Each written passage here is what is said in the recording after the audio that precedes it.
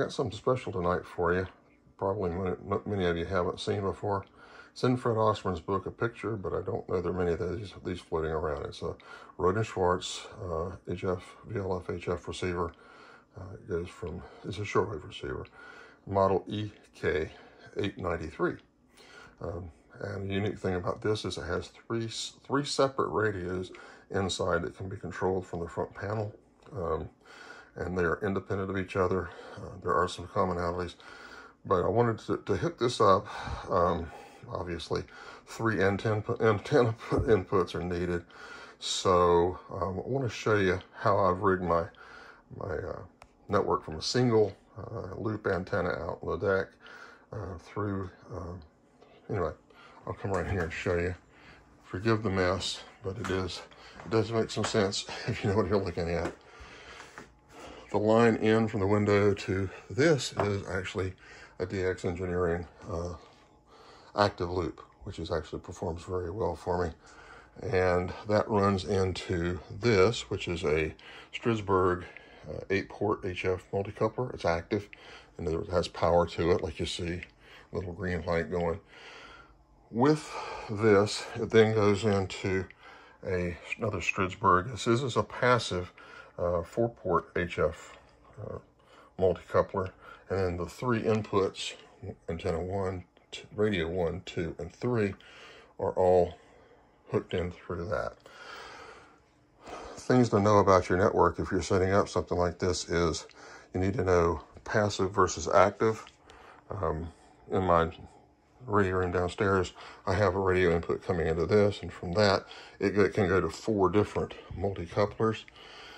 At that point, you know, if it gets to the end and I want to power this thing up with three antennas, I can stick another one of those in sequence like I have here, and that will actually, uh, that'll actually run the radio, and you get you can multiply your ports that way. Since it's active, it actually uh, um, handles the signal. There's no loss or degradation or anything like that. Looking on the back of this, you see there's power supply and a lot of heatsink fans here. There's also a fan, which is different from the other Rohde sources I've had. Um, and of course you have your serial and um, various, various connection cables. And you have options and stuff down here uh, on each radio. This is radio one, radio two, radio three. Um, and you have your line out for the various three there too. So that's the kind of the back and back end. I just do that to kind of illustrate what you can do if you are wanting to run more than one radio off of one radio in, in input. So I'm sit back down here. This is what the business end looks like. It's your typical uh, Rohde & Schwarz 890 series in interface. Uh, if you have an 890, 891, 895, 896, uh, the the display is going to be very similar. The menu-driven stuff is going to be very very familiar to you. And of course, the button selections and all that is that's all standard for what they do. Um, here you have the monitoring for the three different receiver one, receiver two, receiver three, um, and then the loudspeaker, loudspeaker control. Um, so I'm gonna it does a, a, bite on boot. In other words, it goes through in cycles and checks all of them. You'll see the, the lights blink on and off and sounds and stuff. And then we'll start listening to the radio a little bit. The plants are kept the give advice on how to enjoy victorious Christian. Okay, as you see, we're on receiver one here. If I wanted to go to receiver two, I'll turn this down. Turn it down a little bit. If I want to go to, all you do is hit enter, and it brings up R1, 2, 3, and we're on one now, so I'm going to go to two.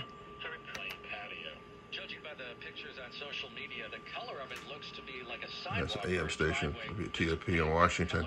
Want to go to three, enter receiver three. And that's 7200 ham channel, which is was pretty active a second ago before I started doing this, but I guess they kind of come and go. Um, but you can do a lot of things with these. So let's go back to receiver. Uh, let's go. Let's stay on. There we go. Okay. Let's cancel that, go back to menu, all right?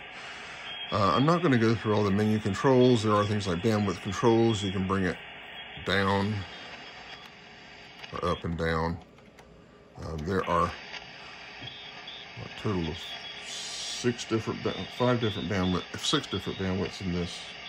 You have uh, everywhere from 8 kilohertz, you see it here, 6, 3.1, 1.5, 0.6, and 0.2. 200 hertz is the, the smallest filter there. Here on this one, you got a 3.1. And if you wanted to, if there was a noise outside it you wanted to mess with, you could actually go to BFO.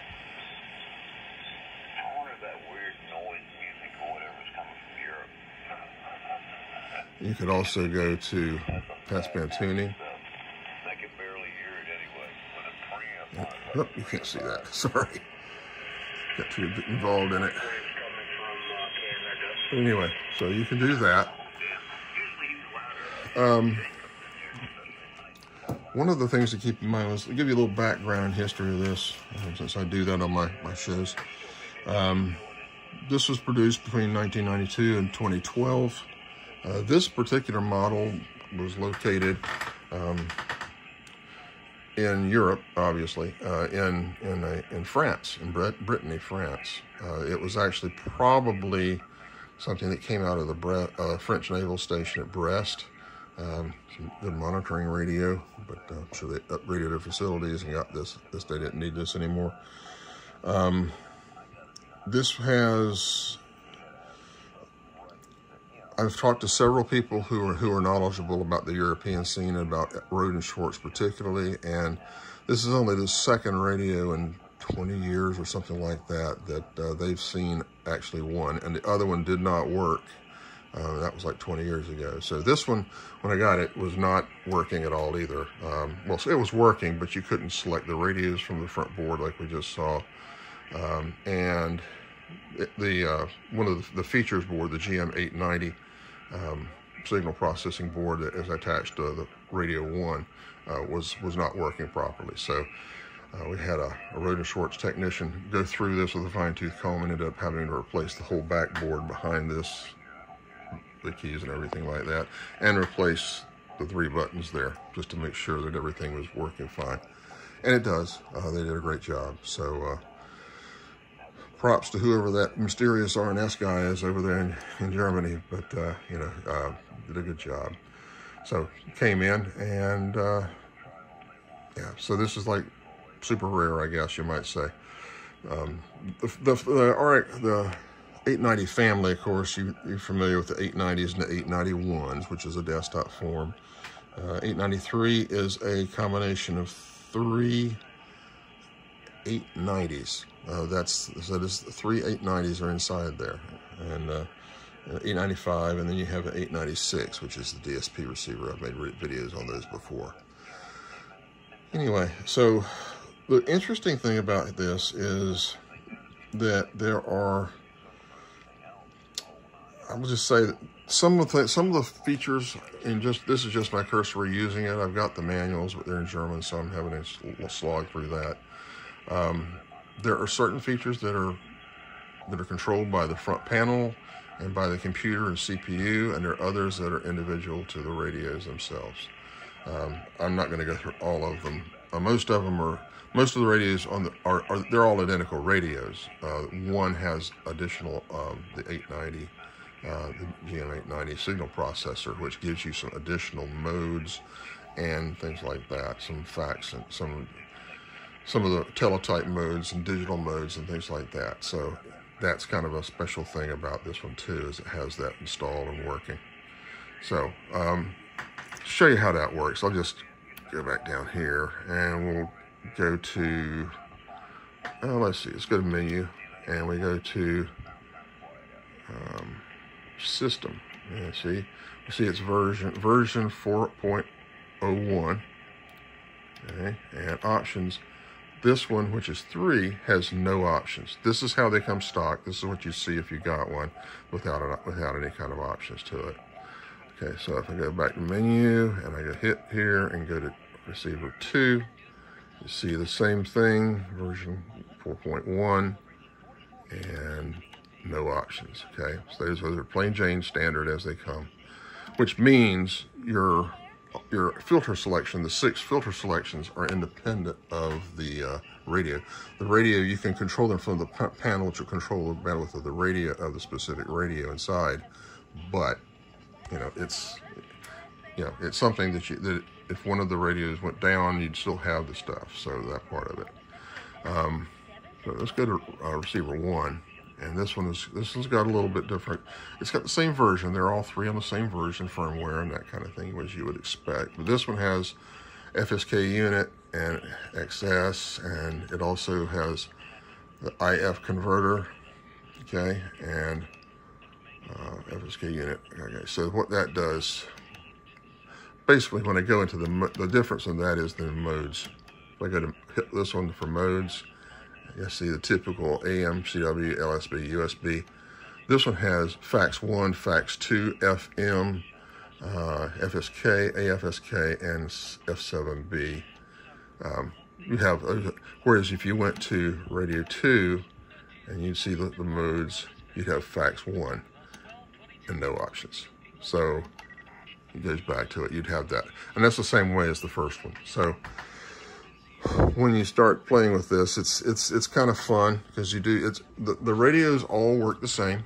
You know, the only thing is uh, receiver one has additional you know, modes and features and things like that because of the eight, uh, GM 890. I still haven't figured out all the stuff it does, but um, if you're doing digital modes, it looks like that was the one you'd want to be tuning in on. So. Um, I don't know how much room is inside these boxes either because they're pretty tightly packed. You obviously you think about with three radios all having separate cards inside this. And of course they're, they're kind of, they're very well shielded and all that. Uh, the GSM is a separate unit that goes in there, I think. So yeah, it's pretty, it's pretty full inside the box. And there go the, there go the fan in the back.